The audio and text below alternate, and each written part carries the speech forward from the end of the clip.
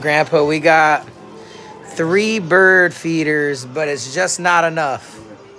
We need like 10 bird feeders. Oh, yeah.